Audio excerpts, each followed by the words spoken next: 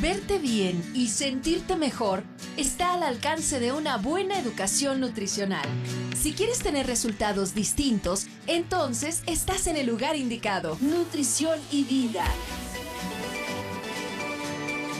Nutrición y vida. Permítenos ser parte de tu proceso físico y emocional con Ruth León.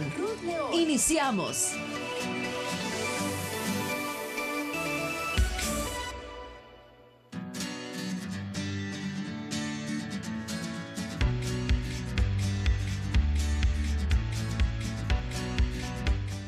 Hola, ¿qué tal? Muy buenos días, 7 de la mañana con 7 minutos. Bienvenidos, bienvenidas a tu programa Nutrición y Vida. El día de hoy iniciando y arrancando la programación aquí en Radio Mujer, iniciando también una semana más. Hoy es lunes 17 de octubre. Sean todos bienvenidos. Es un gusto los lunes de educación en diabetes y más, porque siempre aprendemos algo nuevo. Y el día de hoy vamos a tener un tema muy interesante, como todos los lunes, con especialistas en esta área para que tú sigas aprendiendo. Si ya vives con diabetes, qué aspectos puedes mejorar y si no, bueno, informarte de lo que es esta condición de vida, que no le tengas miedo porque en realidad una persona con diabetes puede vivir muy bien. Así que el día de hoy vamos a estar hablando de un tipo de diabetes que no sé si ya lo habías escuchado por ahí, pero se llama diabetes o así le han denominado diabetes 1.5 o diabetes LADA. Ahorita tenemos ya al experto que nos va a platicar sobre esto. Él es el doctor Carlos Torres, él es médico diabetólogo y bueno, pues es encargado y administra Diabetum, es un centro de diabetes y enfermedades cardiometabólicas. Más adelante les voy a dar los datos donde lo pueden contactar. La verdad es un gusto tenerlo aquí con nosotros. Yo ya tenía tiempo queriéndolo invitar, no se había dado la, la oportunidad, pero créanme, es uno de los mejores médicos y que sabe de diabetes mucho y sobre todo eh, la parte importante que él toma en cuenta mucho es la, la educación. Así que es algo que yo le agradezco mucho. Carlos, bienvenido. Ruth, buenos días, muchas gracias por la invitación. Eh, gracias a tu, auditorio a estas horas de la mañana, ¿verdad? Eh, también quiero este, agradecerte y reconocer el esfuerzo que haces de tener un programa radio que busca informar y educar a las personas, tanto en población general como personas que viven con diabetes. Y sí, como dices, efectivamente es un tema muy interesante hablar de las diabetes, porque en realidad son las diabetes. Estamos hablando de un grupo de enfermedades que son cercano a 300 diferentes tipos de diabetes que se encuentran agrupadas en cuatro categorías principales. Creo que aquí es de donde tenemos que partir de la clasificación. Entonces te comento, son cuatro categorías principales. La categoría número uno son las diabetes tipo 1. Básicamente son dos, son autoinmunes ¿Qué significa autoinmune, Ruth? Que el cuerpo, por alguna razón, ah, muchas de estas ya conocidas, algunas todavía están en vías de investigación, el cuerpo ataca a las células del cuerpo y una de las células que más sufren son las células beta, que son las células principales que producen una hormona llamada insulina que se encuentran en un órgano que se llama el páncreas. Entonces, por muchas razones conocidas, y algunas todavía tengo por, por descubrir, el cuerpo va destruyendo gradualmente estas células. Quiero eh, enfatizar un poquito en esta situación de la diabetes tipo 1, porque se sabe que regularmente cuando el 70% de la cantidad de células productoras de insulina se han muerto, se han destruido, es cuando la persona debuta o se entera o se da cuenta que tiene diabetes tipo 1. Principalmente se presenta en niños y adolescentes y al menos en México se sabe que le da promedio de diagnóstico de diabetes tipo 1 es a los 14 años. Aunque pueden ser desde muy pequeños, desde muy pequeños o adultos a lo mejor. Pero te comento, el promedio es 14 años. Probablemente estamos haciendo el diagnóstico muy tarde. Claro. ¿Sí? Y muchos de los diagnósticos se hacen básicamente por una complicación. El niño llegó al hospital por alguna infección, por alguna situación de enfermedad, por un dolor intenso abdominal que a veces simula apendicitis y es cuando descubren que tiene diabetes tipo 1.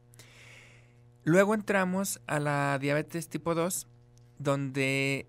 Bueno, perdón, de la 1 dijiste la autoinmune. Autoinmune, y la otra... ah, la otra se llama idiopática. ¿Qué significa idiopática, Ruth? Que aún no se ha descubierto el factor autoinmune. No significa que no haya una causa. Claro. Lo que significa es que a, la fecha aún no se ha descubierto qué sucede. Es muy probable que, que sea un factor que aún no se, ha, visto causante de. Sí. Déjate platico algo bien interesante ahorita que estamos hablando de autoinmune, porque esto a final de cuentas nos va a llevar a hablar del hada. Algunos de los factores que se sabe que desencadenan esta respuesta autoinmune, esta pérdida de control del sistema inmunológico en las personas, tiene que ver con infecciones virales que se presentan antes del año de edad. Y en nuestro país hay un fenómeno muy curioso, que es la introducción de la leche de vaca entera antes del año de edad. Esto significa que a un niño, a un bebé de menos de un año, que le den leche de botella o le den leche de vaca entera, o leche, como en muchas zonas rurales se acostumbra que le llaman el pajarete, puede condicionar la presentación de este tipo de diabetes en una edad futura. O sea, es un factor de riesgo, es un factor de riesgo. Yo se lo explico a los pacientes, yo le digo, a ver, imagínate, ¿cuánto pesa un, becerro? No, pues que pesa como 100 kilos. Ok, ¿cuánto pesa tu niño? Mi, mi niño pesa 3 kilos. Le digo, mira, la leche de vaca está diseñada para alimentar a un becerro de 100 kilos. Es una carga energética, es una carga de proteínas enorme para una persona o un individuo o un niño de 3 kilos. Claro, que esa edad todavía su sistema no está preparado para digerir y ese tipo de proteína. Efectivamente. Incluso muchas personas adultas tienen problemas con la leche. Imagínate darle la leche a un bebé. Claro. La, leche de vaca entera. No, y qué bueno que mencionamos este, este factor de riesgo. Ahorita nos vamos a quedar aquí con esto que vimos de la diabetes tipo 1, pero se los recuerdo. Entonces, vamos a estar viendo el día de hoy un tipo de diabetes que no ha sido como muy descrito en la literatura. Vamos a ver lo que significa diabetes tipo 1, diabetes tipo 2, conocer toda la clasificación. Ahora sí que a un nivel mucho más avanzado para los que a lo mejor ya se lo saben, pero definitivamente conocer esos factores de riesgo. Si tienen alguna duda, los invito a que se comuniquen al 31 22 11 90 o al 36 47 18 83 o también recuerden que nos puedes enviar un mensaje por WhatsApp al 33 10 19 07 12. Te recuerdo que nos puedes seguir también en redes sociales, búscanos en Facebook como Mujer el Sexto Sentido y en Twitter arroba Radio Mujer 1040. Vamos a ir a una pequeñísima pausa, pero no te vayas, quédate escuchando Nutrición y Vida.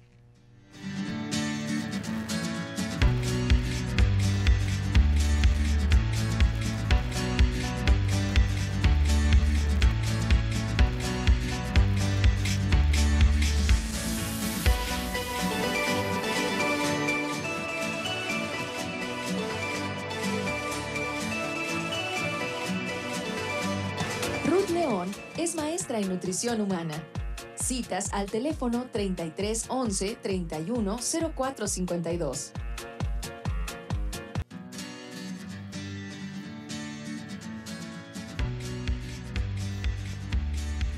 7 de la mañana con 19 minutos ya regresamos a tu programa Nutrición y Vida. Muchas gracias por continuar con nosotros. Si nos acabas de sintonizar, el día de hoy estamos hablando de la diabetes 1.5 o diabetes LADA, así también conocida. Ahorita te vamos a decir de qué se trata y por qué se define así. Está con nosotros el doctor Carlos Torres, él es médico diabetólogo y también pues es el administrador de un centro aquí en Guadalajara, el Centro de Diabetes y Enfermedades Cardiometabólicas que es Diabetum. Por aquí ya me estaban preguntando en el WhatsApp, dice algún dato de algún club para personas con diabetes. Bueno, pues ahorita le pasamos también ahí el, el dato. No sé si hagan ustedes algunas reuniones con pacientes. Mira, Ruth, nosotros tenemos actividades de educación en diabetes para personas que viven con diabetes, pero en este momento no tenemos ningún club, nada más tenemos con cierta regularidad programadas actividades, cursos o conferencias. Ah, Pero club no. Ok, perfecto. Ahorita de todos modos te pasamos aquí el, el, dato.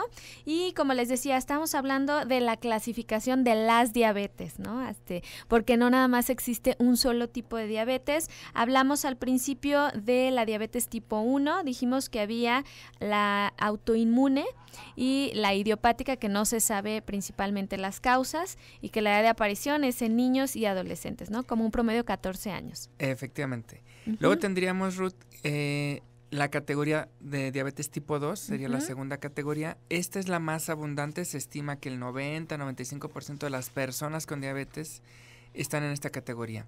Es muy curiosa, eh, es la más frecuente y está asociada básicamente a dos factores. Un factor genético y un factor ambiental. El factor ambiental representado principalmente por obesidad. Y el factor genético, déjame te platico que, que, ahí, ahí tenemos nosotros una gran desventaja. Los mexicanos y, y en general los oriundos de América portamos una serie de genes que nos predisponen hasta 20 veces más a la diabetes que cualquier otra raza. Y se le conoce ahorita, se le está llamando, es el gen neandertal. ¿Sí? Es un gen que tiene alrededor de 150 mil años de antigüedad. Y fue muy interesante cuando lo descubrieron, porque lo descubrieron en fósiles neandertales y lo descubrieron en población mexicana que portaban el mismo gen.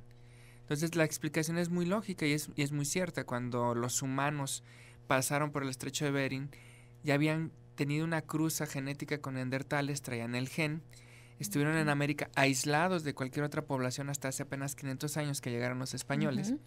Y esto significa que el gen neandertal de predisposición a la diabetes no se diluyó, está prácticamente puro, por eso tenemos tanta predisposición. Entonces aquí se conjuga dos factores, el genético y el ambiental.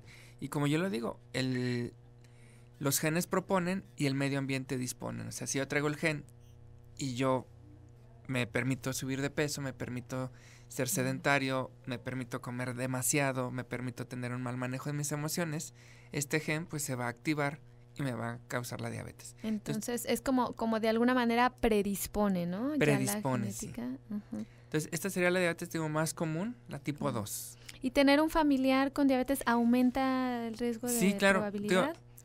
en diabetes es bien curioso, Ruth, hablar de, de la situación que la causa e incluso hablar de cura. Cuando hay enfermedades que dependen de un solo factor, podemos hablar de una cura. Te pongo un ejemplo. Tú te enfermas de faringoamigdalitis porque es una bacteria, te doy un antibiótico, te curas. Punto. Pero cuando hablamos de enfermedades que tienen múltiples factores causales, o sea, múltiples situaciones que causan la enfermedad, es muy complicado encontrar la cura. Imagínate, factores predisponentes de diabetes tipo 2, genes, familiares, obesidad, una alimentación rica en carbohidratos o azúcares y grasas, sedentarismo o tener, no sé, un estilo de vida en el que te la pasas prácticamente todo el tiempo quieto, sentado, sin hacer actividad, mal manejo de emociones. Y súmale algunas otras situaciones desde que si fuman, que si hay algún tipo de medicamentos eh, o algún otro factor X, encontrar la cura para todos y cada uno de estos factores es muy complicado. Definitivamente. Por eso sería muy importante que las personas tengan claro que este tipo de enfermedades hasta la fecha en ninguna parte del mundo tiene una cura. Para que eviten ser sorprendidos por personas o pseudo profesionales de la salud que les van a ofrecer una cura es parte de tratamiento integral, ¿no? O sea, de alguna manera se puede vivir bien con diabetes siguiendo varios pilares del tratamiento, pero se puede controlar, se puede estar bien, pero no hay como una cura, ¿no? Efectivamente, incluso yo les digo, las personas que viven con diabetes pueden vivir mejor que los que no tenemos diabetes, porque van a aprender a cuidarse como todo el mundo tendríamos que hacerlo. Sí, a tener un estilo de vida mucho más saludable, hacer, ahora sí que verse obligados a hacer un poquito más de ejercicio, lo que idealmente todo el mundo deberíamos de estar haciendo, ¿no? La disciplina en los horarios de alimento. Efectivamente. La única diferencia es que o van a tomar algún medicamento o van a aplicarse insulina, que es ahorita quiero que, que nos platiques eh, la diabetes tipo 2, cuál sería el, tratamiento, porque muchas veces hay confusión. Te comentaba hace un momento que en la diabetes tipo 1 inicia o aparece o las personas se dan cuenta cuando se ha perdido más o menos el 70% de la función de las células que fabrican insulina. En la diabetes tipo 2, regularmente el inicio de la enfermedad o el debut o el descubrimiento de la enfermedad se da cuando las personas han tenido una pérdida aproximadamente del 50%. Al inicio de la enfermedad muchas personas pueden ser tratadas simplemente con un plan de nutrición, actividad física regular, control de emociones y un peso saludable. Sin embargo, algunas personas, a pesar de estos cambios y de estas conductas de autocuidado, van a necesitar algún medicamento que estimule la secreción o producción de insulina en su páncreas.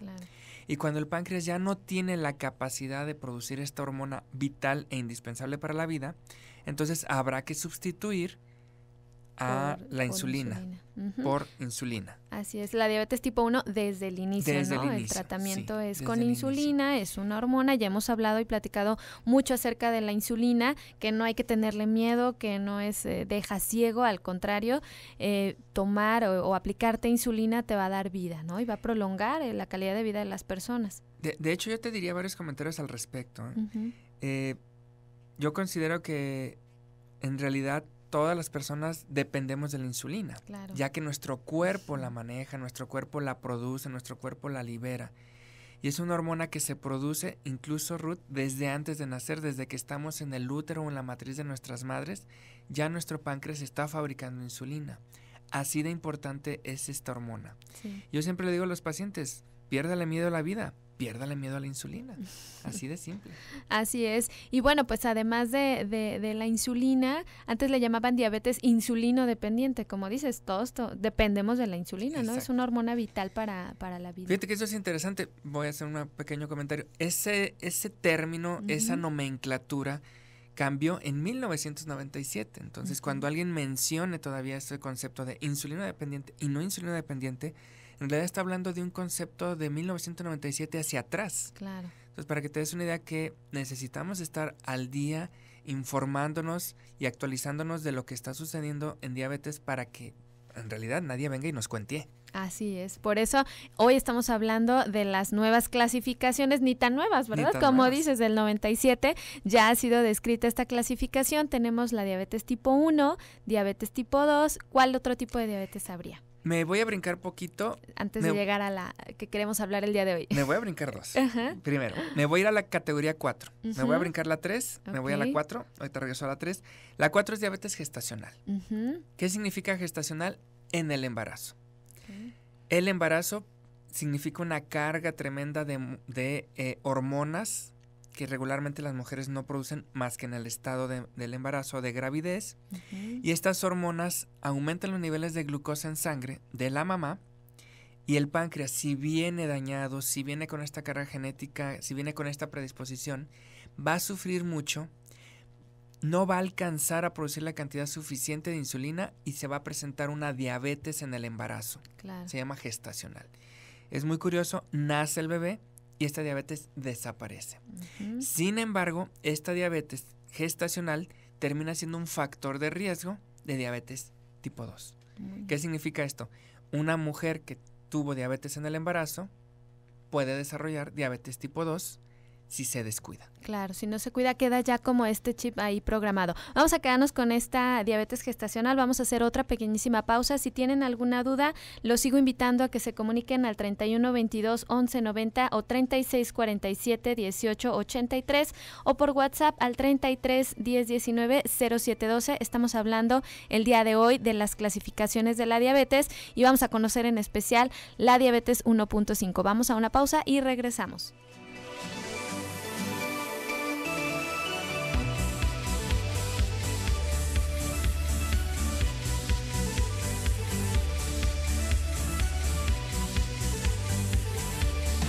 León es maestra en nutrición humana y educadora en diabetes. Su teléfono para citas 33 11 31 04 52.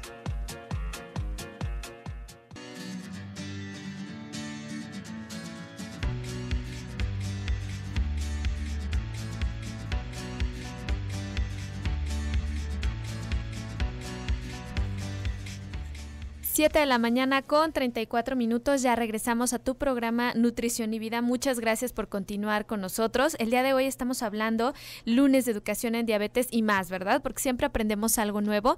Estamos tratando el tema de la diabetes 1.5 o LADA, pero antes te dimos un recordatorio de las clasificaciones de la diabetes que no siempre nos explican. A veces todavía nos quedamos en la nomenclatura que se utilizaba, nos estaba comentando aquí el doctor Carlos Torres, desde 1900 1997 ya está en desuso eso que tú o alguien a lo mejor todavía ubica como la diabetes dependiente de insulina, la no dependiente de insulina, la diabetes juvenil o diabetes del adulto. Esa clasificación ya desde 1997 desapareció y ahora, bueno, pues tenemos una clasificación diferente ya ahorita el doctor Carlos Torres, que es nuestro invitado del día de hoy. Él es médico diabetólogo y bueno, pues es administrador del Centro Diabetum, que es un centro de diabetes y enfermedades cardiometabólicas aquí en la ciudad de Guadalajara. Entonces, nos quedamos platicando, Carlos, en, la diabetes gestacional. Ya vimos la tipo 1, tipo 2 y nos quedamos en la gestacional. ¿Qué más podemos agregar al, al respecto? De la gestacional, Fíjate que ahí también habría que de, diferenciar muy bien, porque a veces sucede que no sea una diabetes preexistente. Déjame, te planteo una situación que es muy dramática. En todo el mundo actualmente se estima que hay 420 millones de personas con diabetes. En todo el mundo es una cantidad enorme de personas. Pero se sabe perfectamente bien que el 50% desconocen su condición. O sea, el 50% están viviendo sin saber que tienen la diabetes. Como que los síntomas a veces no son tan evidentes en una tipo 2 y se justifican, ¿no? En realidad casi no hay síntomas. Esa es una de las situaciones. Y somos una cultura, la, mexicana, que nos regimos por síntomas. Ah, si me duele, sí busco atención. Si no me duele, seguramente estoy bien. Que ese es un, un error sí, esa cultura de no prevenir, de no estarte tomando estudios de laboratorio, pues por lo menos cada año, ¿no? Sí. Estar ahí haciéndonos en general un chequeo. Y en muchas mujeres embarazadas, en realidad pudieran tener la diabetes desde antes del embarazo, no se dieron cuenta y se descubren el embarazo y en ocasiones se clasifica mal. Le decimos, ah, es diabetes gestacional, cuando en realidad le podemos decir diabetes preexistente, ya existía desde antes. O sea, a lo mejor ya estaba ahí condicionada, nunca se dio cuenta cuando em, se embaraza, hasta que le mandan a hacer la prueba, que es por ahí casi ya de la semana 20 en la semana 24 es cuando se recomienda. Entonces a veces ya es demasiado tarde. Las nuevas guías ya recomiendan desde el momento del embarazo hacer una prueba de glucosa porque eso nos permitiría identificar si ya tenía la diabetes desde antes. Claro. Esa sería la categoría 4 de diabetes gestacional. Ahora, ya me regreso a la 3. ¿Por qué me regreso a la 3? Ruth, porque en la 3 están prácticamente una cantidad inmensa, un abanico muy florido de, de diabetes. Hay diabetes muy curiosas genéticas, unas que se llaman MODI, que quizá pudieras hablar de ellas después. Hay unas diabetes que dependen de medicamentos o de sustancias tóxicas. Algunos medicamentos pueden causar diabetes. Algunas sustancias tóxicas pueden causar diabetes. Eh, algunas situaciones como malignidades del, cáncer, del páncreas, perdón, como cáncer, puede causar diabetes cualquier cirugía abdominal que implique retirar el páncreas va a causar diabetes. Situaciones como pancreatitis, muchas de las personas que afortunadamente logran sobrevivir a la pancreatitis pueden desarrollar diabetes o quedan con diabetes. Entonces se englobaría este grupo como otros tipos. Otros tipos. Ajá. Sí, son muchísimos tipos, Ruth, que sería casi de hablar Claro, aquí. síndromes raros. Síndromes raros, síndromes genéticos. Por ejemplo, las personas que tienen síndrome Down o trisomía 21 tienden a desarrollar diabetes, pero curiosamente son poco atendidos porque las papás o los familiares se centran en la atención psicomotora más que en la cuestión metabólica. Y la mayoría de las personas que tienen eh, síndrome Down desarrollan obesidad, que a final de cuentas también es un factor condicionante de diabetes. Entonces aquí es donde entramos a una playa de, enorme de, posibilidades, las otros tipos o la categoría 3. Y ahí entraría la LADA, que nosotros Fíjate que no precisamente. Ahí es donde los expertos están discutiendo dónde se va a acomodar. Primero, tendríamos que definir qué es LADA. LADA es el término en inglés que significa diabetes autoinmune latente del adulto. Eso significa LADA en español. Diabetes autoinmune latente, del, adulto.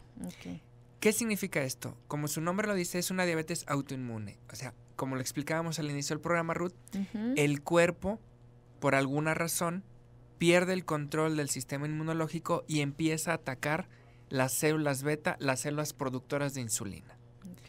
Sin embargo, como yo te explicaba, la diabetes tipo 1, que se presenta en edades muy tempranas, que es algo característico, es lo que empieza a marcar la diferencia con LADA.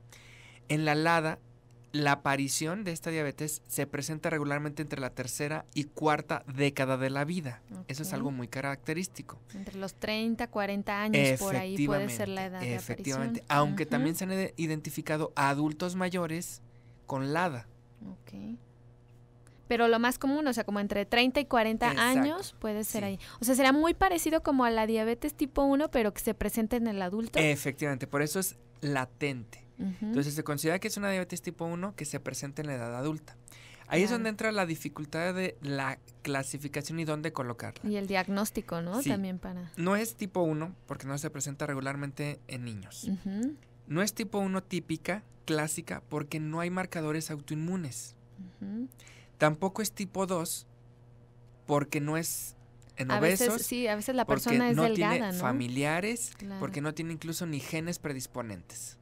Por eso le llaman diabetes 1.5, está entre la 1 y la 2.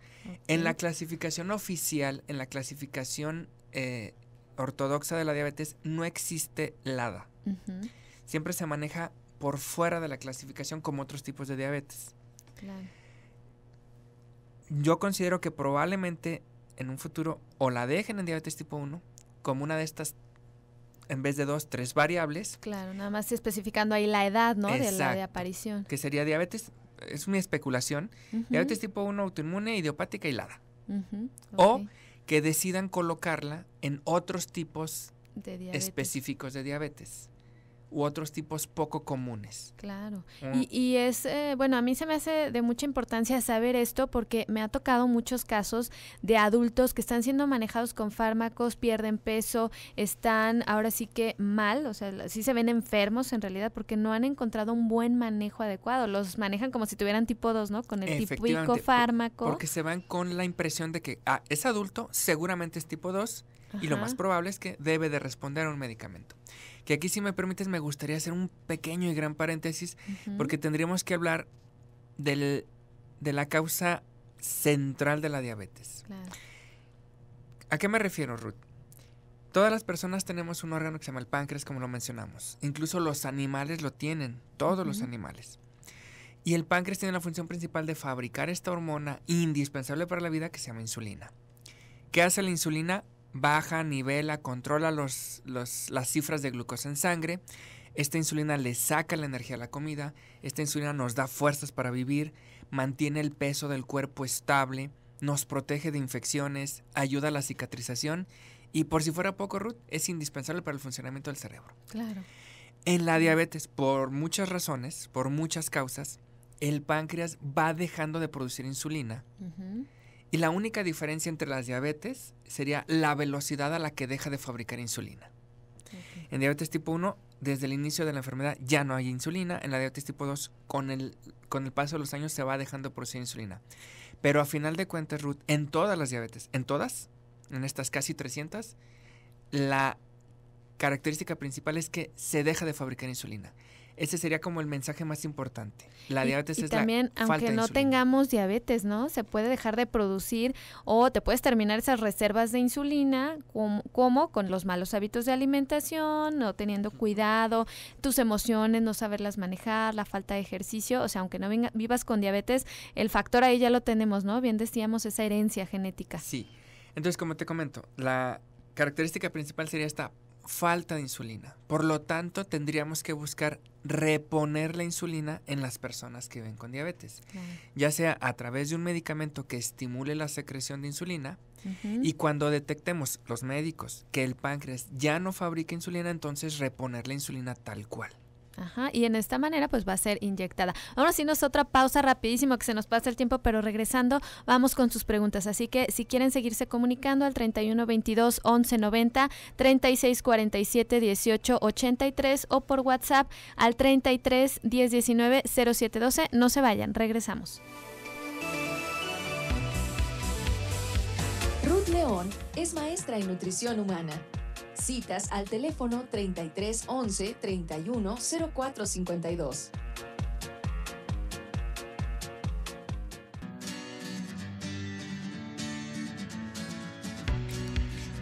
7 de la mañana con 49 minutos. Estamos en la recta final de este programa. Todavía con muchas preguntas, las voy a leer.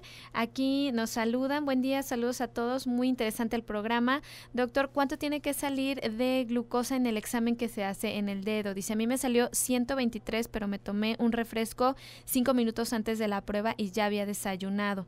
Nada más que después, este, dice, desayuné a las 7 y la prueba me la hicieron a la 1. ¿Qué dice? Gracias y los felicito por esos programas. Que Dios les bendiga. Muchas gracias. Mira, Ruth, hablar de los números de la diabetes es muy interesante y tiene que quedar muy claro varias situaciones. Primero, la glucosa normal o ideal se debería tomar en dos horarios principales, ya sea en ayuno. Claro. Ayuno es antes de cualquier alimento o al menos cuatro horas sin consumo de alimentos. Y el nivel normal e ideal de glucosa en ayuno debe ser 100 o menos. Algunos expertos dicen 99. Pero vamos a cerrarlo en 100. 100 o menos es lo ideal en ayuno. Y dos horas después de cualquier comida, de cualquier alimento, 140 o menos. Así se hayan tomado un litro entero de refresco, un pastel. O sea, si el páncreas funciona bien, no tiene por qué subir más de 140. Efectivamente, a las dos horas. Entonces, eso es clave. Porque ahorita que estamos hablando de, de los cambios del 97, en 1997 se consideraba que era 140 el punto de diagnóstico de diabetes. Ese, y en 1900 bajó a 126. Ajá, entonces, un diagnóstico de diabetes ya se establece a partir de 126. 126 en ayuno. Y a cualquier hora. 200, a cualquier hora del día, independientemente eh, el consumo de alimentos, o 200 dos horas después del el consumo de alimentos. Perfecto. Por aquí también Trino dice, buenos días, ¿me pueden decir cuando el páncreas ya produce mucha insulina, a qué se debe y qué cuidados se deben de tener? Mira, Trino, esa es una situación muy curiosa. Es, un, es algo poco común que el páncreas tenga un exceso de producción de insulina. Regularmente se debe a alguna masa o alguna tumoración. Tumoración no significa que sea malo, simplemente es una masa de células muy delimitada que esté produciendo una mayor cantidad de insulina. Es poco común y la característica principal son hipoglucemias o niveles de glucosa bajo constantes día y noche. Los cuidados que deben Los cuidados, bueno, primero tendría que ir a un médico para establecer el diagnóstico. Descartar cualquier malignidad, buscar cómo se pudiera resolver, quizá alguna cirugía o algún otro tratamiento. Y el tratamiento básicamente es mantener niveles constantes de carbohidratos o de azúcares. Incluso los podemos mezclar con algo de grasa para que la absorción sea un poco más lenta y se mantengan niveles más eh, estables de, de glucosa o de azúcares en sangre. Claro, me gustaría, digo, antes de que otra cosa suceda, que nos platiques un poquito de, de qué hacen ustedes ahí en Diabetum. Este centro, bueno, de enfermedades eh, cardiometabólicas y centro de diabetes es atención integral a diabetes, hipertensión, obesidad y colesterol, ¿verdad? Está aquí en Guadalajara. ¿Qué los diferencia ahora sí, Sí, Ruth, mira, nosotros somos un centro de diabetes. Un centro de diabetes, ¿qué significa? Es un lugar donde las personas pueden encontrar todos los servicios de eh, salud en torno a una enfermedad que sería diabetes. Porque la diabetes tiene agregadas otras enfermedades como lo son hipertensión o presión arterial alta continua, lípidos o colesteroles altos, obesidad, eh, alteraciones emocionales y, y, algunas otras alteraciones metabólicas. Entonces, en nuestro centro pueden encontrar servicios médicos, nutricionales, psicológicos, educativos, en una atención integral de calidad y calidez centrada en el paciente. Excelente. Entonces tienen profesionales, tienen, hay un cardiólogo, ¿verdad? tenemos tenemos médicos, tenemos un médico cardiólogo especialista en diabetología cardiovascular, tenemos una nutrióloga especialista en nutrición en diabetes y nutrición cardiometabólica.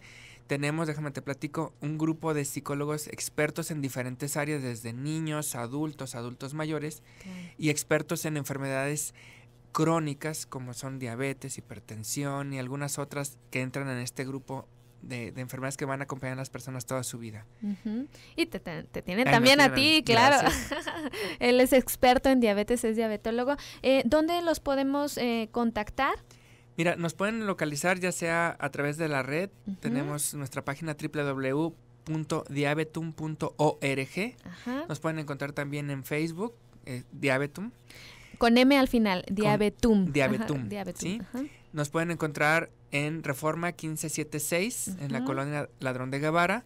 Nuestros teléfonos son 35 62 0035 y 3562-0036. Ok, para cualquier consulta. Entonces la página, se la repito, www.diabe, como de diabetes, y al final diabetum.org o también diabetum en Facebook. Eh, Carlos, un último mensaje que les quisieras dar a las personas, a nuestros radioescuchas sobre la diabetes, quienes ya viven con esta condición, bueno, ¿qué pueden hacer? Yo, yo el mensaje principal que te quisiera dejar, Ruth, si me lo permites, es decirle a las personas que viven con esta condición que vivir con diabetes para nada significa el fin de una vida normal. Pueden llevar una vida totalmente normal con sus cuidados y vivir incluso, como te comentaba, mejor que quien no tenemos diabetes. Claro. Que se acerquen a sus equipos de salud porque un buen diagnóstico asegura un buen tratamiento. Un buen tratamiento va a alejar las complicaciones y al alejar las complicaciones podemos garantizar una mejor calidad de vida que significa vivir más y mejor. Definitivamente. Entonces, los puntos más importantes, así como resumidos en el tratamiento de la diabetes, ¿cuáles serían? Yo te diría primero, identificar cómo está el páncreas en cuanto a su capacidad de producción de insulina. Si aún tiene insulina, puede responder a medicamentos. Si ya no hay insulina, entonces habrá que reponerla. Yo siempre he dicho que la insulina es la hormona de la vida. Entonces habrá que reponer esta hormona de la vida porque sin ella... Y que no le tengan miedo, es muy fácil de aplicar ahorita con tantos dispositivos nuevos, las plumas, la facilidad de cargar. Entonces, es mucho más fácil de lo que las personas se imaginan. Ya no es como antes, ¿no? Que casi casi tenían que hervir ahí la, la jeringa, esterilizar las agujas y todo. Ahora hay agujas tan pequeñas como 4 milímetros en promedio que realmente la molestia es mínima o totalmente ausente. Y ustedes ahí también los capacitan, ¿no? Nosotros damos la educación en cuanto al uso, por ejemplo, de insulina, de dispositivos como las plumas de insulina o incluso las microinfusoras o bombas de insulina. Perfecto. Entonces, ese sería el primer punto, la eh, insulina o la medicación. ¿Qué otros puntos? Todavía tenemos algunos minutitos. Yo les diría que los cuatro pilares básicos del control de la diabetes son plan de nutrición, actividad física regular, peso saludable y a veces lo que nos cuesta un poquito más de trabajo, el control de emociones. Esa es la clave. Y no todo el mundo lo toma en cuenta, ¿eh? Casi siempre es un punto importante. Qué bueno que ustedes tienen también esta atención porque es sumamente bueno, ¿no? Que la persona también sepa identificar esas emociones. Identificarlas y resolverlas. Claro. porque eso, eso nos cuesta mucho trabajo. Como, como latinos, como mexicanos, somos como muy muy emocionales, como muy dramáticos. ¿Se puede decir que el estrés va a dificultar entonces el control? Demasiado. Te, puedo platicar de muchos casos de pacientes que tienen sus esquemas de insulina, que llevan su plan de nutrición, que hacen su actividad física regular, que se encuentran en un peso saludable y aún así no los podemos controlar hasta que van con nuestros terapeutas, hasta que van con los psicólogos y la glucosa empieza a bajar de manera sorprendente. Claro, y hay muchas este, cuestiones emocionales que van a impedir ese control, ¿no? Emociones que a lo mejor las personas no saben manejar y por pena dicen yo no necesito. E, en realidad, Ruth, eh, básicamente todas las emociones, si te enojas, te preocupas, te angustias y lloras y pataleas y haces berrinches y te, te tiras al suelo, te va a subir la glucosa. Claro. Es una situación normal. El problema es que si sube la glucosa y no hay insulina, la glucosa se va a mantener alta. Entonces, como no podemos, digamos, eh, dar un, un shot o un disparo de insulina cada que alguien se enoja, es mucho más fácil que las personas aprendan a controlar sus emociones para evitar que se dispare la glucosa. Eso sí se puede. Claro, entonces pues muy importante, muy interesantes esos tratamientos. Dijimos la medicación, el plan de alimentación, la actividad física regular, un peso saludable y manejo de emociones, ¿verdad? Efectivamente. Pues con estos puntos nos quedamos, Carlos. Muchísimas gracias. Este, vuelvo a repetir entonces los, los teléfonos del centro es 35 62 00 35 y 35 62 00 36. Los pueden encontrar, están aquí en Guadalajara en Reforma 1576 en la colonia Ladrón de Guevara. ¿Tienen horario todo el día? Este, es previa cita. Previa cita, perfecto. Entonces, para que se comuniquen o en la página, la verdad es que está muy interesante, hay muchísima información que pueden buscar ahí, vienen este todo todo lo, lo que relaciona a las enfermedades cardiometabólicas. Entonces, busquen www.diabetum.org o en Facebook también como Diabetum. Pues muchísimas gracias gracias, Carlos Torres, por haber estado con nosotros el día de hoy. Te agradezco gracias muchísimo. Gracias a ti, Rudy, e invitar a las personas a que se atiendan, a que se informen, a que se eduquen y a que mejoren su vida. Claro que sí. Y bueno, pues muchas gracias a todos por habernos sintonizado el día de hoy. Mañana vamos a ver la alimentación para las mujeres después de los 40 años, así que no te pierdas este programa para todas las señoras que nos escuchan. Vamos a ver cuáles son esas recomendaciones. Y a continuación te voy a dejar en compañía del doctor Gilberto Priego en el programa Quiero Vivir. Nos escuchamos el día de mañana y que tengan un excelente inicio de semana. Nos vemos.